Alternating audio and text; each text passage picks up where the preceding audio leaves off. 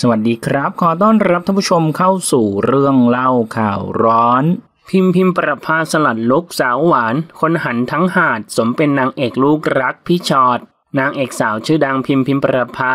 แจกภาพฮอตในชุดว่ายน้ำสีขาวสุดเฉียวแหวกเว้าหน้าท้อง และเปิดเผยผิวขาวออร่า สู้แสงแดดกลางสระว่ายน้ำพร้อมระบุแคปชั่นว่า I wanna see wanna see them dancing ชุดที่ว่าแซบแล้วยังต้องแพ้ความขาวออร่าของเธอทะเลสดใสขึ้นมาทันตาเห็น หากย้อนกลับไปเจ้าตัวนั้นเริ่มเข้าวงการบันเทิงครั้งแรกเมื่ออายุ 7 ปี จากการแสดงละครเรื่องลูกไม้ไกลต้น และมีผลงานละครอีกหลายเรื่องอาทิเช่นหนึ่งในซวง แรงเงา สายโลหิตขมิ้นกับปูนเป็นต้น หลังจากนั้นในปี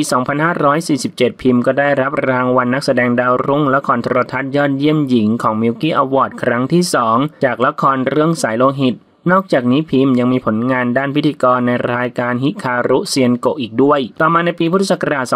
2550 พิมพ์ผ่านการคัดเลือกเป็นศิลปินในสังกัดค่ายกามิกาเซ่ในเครือ RS มีผลงานเพลงในนามวงชิลิไวช็อกซึ่งเป็นหนึ่งในศิลปินของ Lips Project ท่านผู้ชมละครับ มีความคิดเห็นอย่างไรกับเรื่องนี้ลองแสดงความคิดเห็นกันเข้ามาดูนะครับ ขอขอบคุณข้อมูลจาก Trusto Online ขอบคุณครับ